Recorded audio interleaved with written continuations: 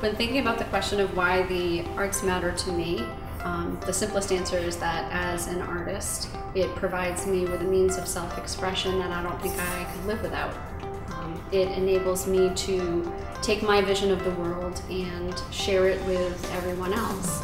But I think that there's a broader and more important reason why the art should matter to everyone, not just me and that is that art is the opposite of apathy. Art is imagination and engagement and innovation. It's what led me to create the People in Your Neighborhood portrait series, which is currently on display at the Springfield Museums.